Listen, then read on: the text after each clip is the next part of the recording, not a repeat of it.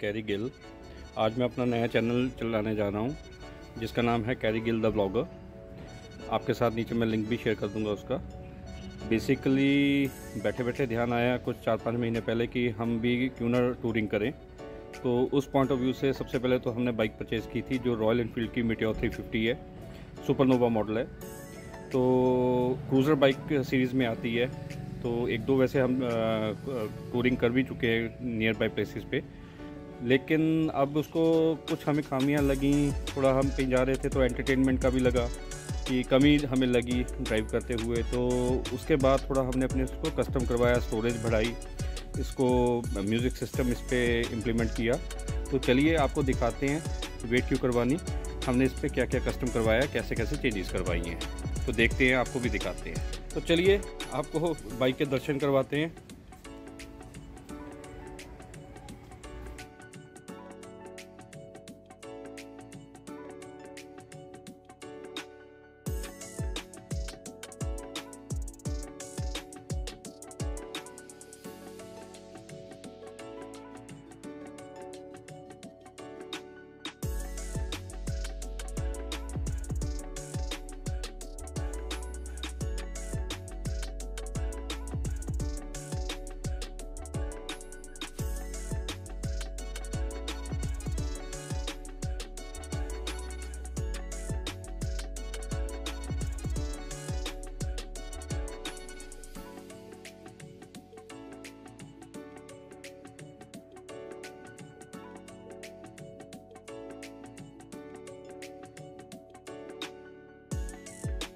हमने एसेसरीज इसको लगाई हैं उसके बारे में थोड़ी जानकारी दूँगा।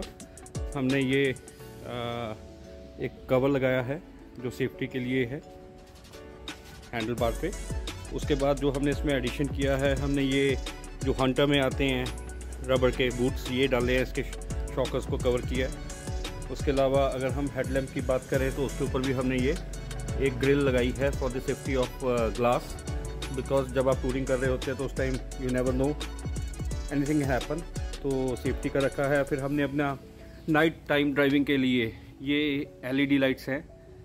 तो ये हमने दोनों तरफ़ मोटरसाइकिल के लगाई हैं। सो दैट बिकॉज़ जो इसकी अपनी लाइट है, वो उतना रात को नहीं कवर कर पाती। बट इनके साथ ये है कि आपका जैसे आप दिन में घूम रहे हैं, वैसे आपको रोशनी देती हैं। अपार्ट फ्रॉम दिस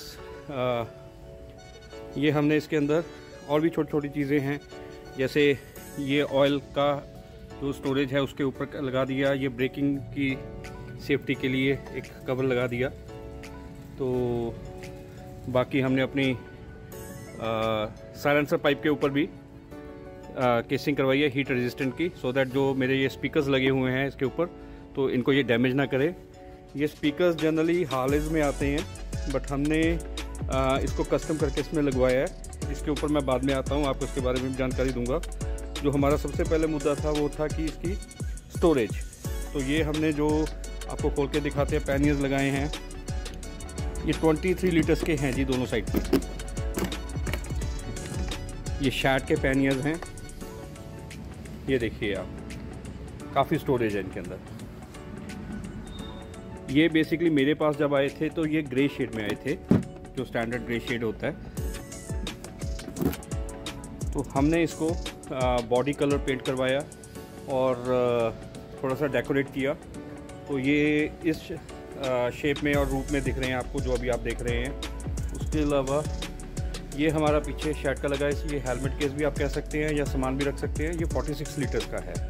तो आप ये देख लीजिए 46 litres plus 23 litres plus 23 litres और इसके अलावा जो हमने इसके अंदर चेंजेस किए हैं, ये पीछे मैंने स्ट्रॉब लाइट्स लगाई हैं। अभी आपको चला के दिखाएँगे इनके, इनको भी। तो ये बेसिकली अगर फॉग ज़्यादा हो या आप कुछ ऐसे इन्वायरमेंट में ट्रैवल कर रहे हैं, अपने पीछे से कोई आपको हिट ना करे या आपके साथ जो बाकी राइडर्स चल रहे हैं, उनको आपने कुछ सिग्नल करना है तो उसके लिए ये आप इनको यूज़ कर सकते हैं। तो चलिए, अब इसको हम ऑन करते हैं। तो स्टेप बाय स्टेप आपको और भी इसकी चीज़ें दिखाते हैं। चलिए, अब इसको स्टार्ट करते हैं मोटरसाइकिल को, देखते हैं, आपको इसके फीचर्स दिखाते हैं। तो ये हमारा बाइक स्टार्ट होने जा रहा है।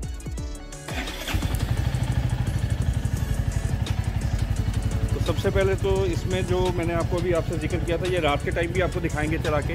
तो ये बाइक के आगे जो हमने लगवाया है, एक तो ये आपकी लाइट्स दिख रही हैं, आपको जो फॉग लैम्प्स कहते हैं या इसको आप एलईडी लाइट्स भी कहते हैं। और इसके अलावा जो स्पीकर्स हैं, उनके अंदर जिनको हम स्पीकर्स कहते हैं, इनके अंदर डीआरएल भी हैं जो फिटेड हैं। मैं अभी अपने किसी साथी को कहूँगा कि वो इसके ऊपर ऑन करके दिखाएँ। इनमें इंडिकेटर्स भी है हैज़र्ड लाइट्स भी चलती हैं। तो ये देखिए, कुछ इस तरह से।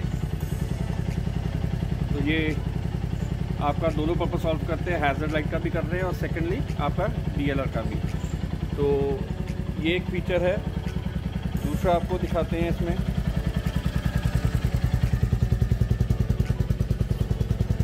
ये जो मैं अभी स्ट्रोब लाइट्स की बात कर रहा था तो इसमें भी ये तीन मोड्स हैं, आप जगा के रख सकते हैं, आप इसका मोड चेंज कर सकते हैं। जनरली मैं ये मोड यूज़ करता हूँ बिकॉज़ ये हर टाइम नहीं जगता और थोड़ा सा फ्लैशिंग भी अच्छी लगती है इसकी। और तीसरा मोड भी है इसमें, ये आपके कांस्टेंट जगते रहेंगे। तो ये आपका सेफ्टी के पॉइंट ऑफ़ व्यू से बहुत ही बेटर ऑप्शन है जब आप कहीं रिमोट एरिया में ड्राइव कर रहे हैं। तो अब इसके बाद आपको हम इसके साउंड सिस्टम के बारे में बताएँगे बिकॉज़ ऐसा तो काफ़ी कुछ लगा हुआ है छोटी छोटी चीज़ें बट जो मेन इंपॉर्टेंट फैक्टर्स है, जो राइडिंग के पॉइंट ऑफ़ व्यू से इसमें एडिशन करवाई गई है या कस्टम किया गया है तो हम उसकी बात करते हैं। तो मैं भी आपको म्यूज़िक सिस्टम के बारे में भी दिखाता हूँ। बेसिकली ये जो स्पीकर्स हैं काफ़ी लाउड प्ले करते हैं। जब आप राइड कर रहे हैं आपका आपको अलग अलग तरह की आवाज़ें सुनती हैं। हवा की आवाज़ आ रही है और आप जब ड्राइव कर रहे हैं और किस्म की आवाज़ें आती हैं। हॉर्न कारों की गाड़ियों की। बट स्टिल ये बहुत ऑडिबल है। तो because I don't want to disturb others तो ये यहाँ से आप इसकी क्वालिटी का पता देख सकते हैं। बेसिकली इसमें हमने जो स्पीकर्स लगाए हैं। ये यूएस से मंगवाए गए हैं।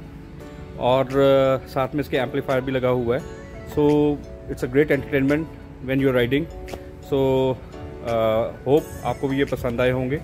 और बाकी ये मेरा पहला ब्लॉग है। इसमें अभी हमने सबसे पहली वीडियो बनाई है। तो जैसे जैसे हम आगे बढ़ते जाएँगे, इसको और बनाते जाएँगे।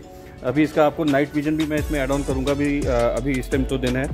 तो जैसी रात होती है तो आपको इसका नाइट व्यू भी दिखाते हैं बाइक का। तो वो कैसा है कि बहुत ही ज़बरदस्त दिखता है। तो वो आपको फिर अभी दूसरे वीडियो में मिलते हैं और दिखाते हैं।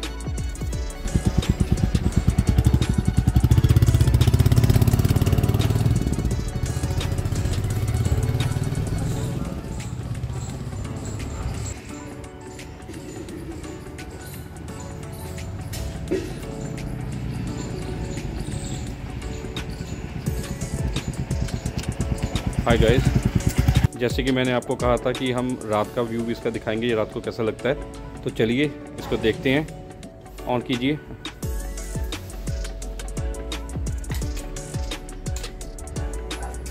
ये देखिए।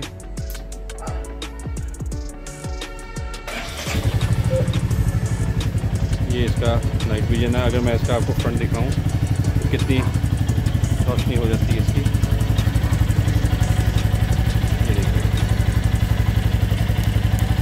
कर दिया अब सिर्फ़ हेडलाइट चल रही है मोटरसाइकिल की देखिए देखिए ये पूरा दिन की तरह रोशनी कर देता है तो अब इसके हम रियर व्यू पे चलते हैं जो मैं आपको स्ट्रोब लाइट्स की बात कर रहा था ये देखिए इसकी स्ट्रोब लाइट्स कैसे काम कर रही हैं तो ये आपके जब भी आप ट्रैवल कर रहे हैं कुछ कर रहे हैं तो उस टाइम पे आपको बहुत हेल्पफुल रहती हैं फॉग में स्पेशली ये बहुत हेल्पफुल है। होप आपको ये सब कुछ अच्छा लगा होगा।